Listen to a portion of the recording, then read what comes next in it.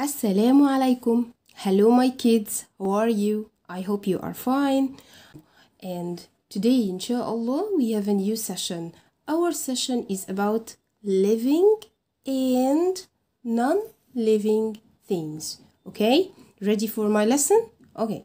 This is the book of this book is talking about living and non living things. Let's open the book and see what's inside. Now let's open the, our book and see what's inside. We have here living things and non-living things. Let's see what do I mean by the living things. Living things need water, food and air and they can grow, they give babies, they can move. Number 1 water. All living things needs need water. We have here humans need water to survive, and plants too need water, and also animals need water to survive. So they are animals and uh, animals, plants, and humans need water. So they are living things.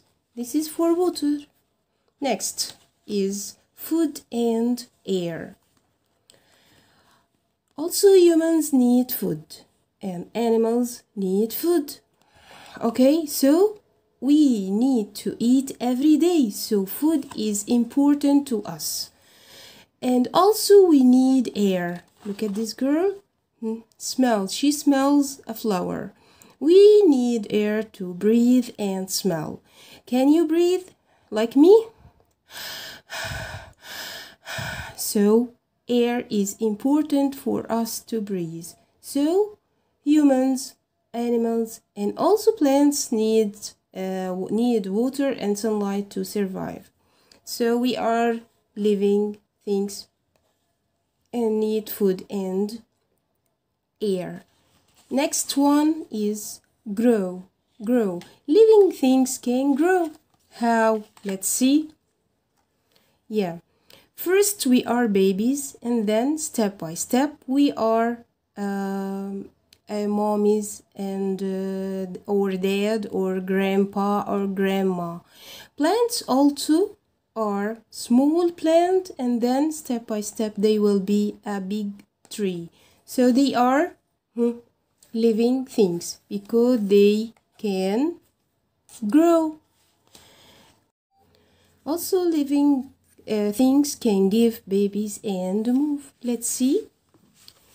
We have here humans give babies, uh, birds give babies uh, because they are living things. And here, this boy and this girl, they are uh, running uh, so they can move. Also, the butterfly here, can you see it? It can fly. So this, um, so living things can move. Okay. And now, my friends, let's know uh, the non-living things. Look at this picture. Uh, what are these? These are books. Okay, do the books need water? No, they don't need water. So they are non-living thing. Okay, look here. What's this? This is a phone. Yeah. Do uh, that the phone need uh, food or air? No, it doesn't need food or air so it's a non-living thing. Okay look at this chair. Hmm. can the chair grow? No it can't grow so it's a non-living thing. Uh, what about the sofa? Can the sofa give babies? No of course no. So this is a, a non-living thing. Look at this ball uh, the bull it can grow? No, it can't grow. So it's a non-living thing. And now, my kids, I hope that you know the, the difference between living and non-living things. Study the video more than time, okay? And see you next video, inshallah. Goodbye.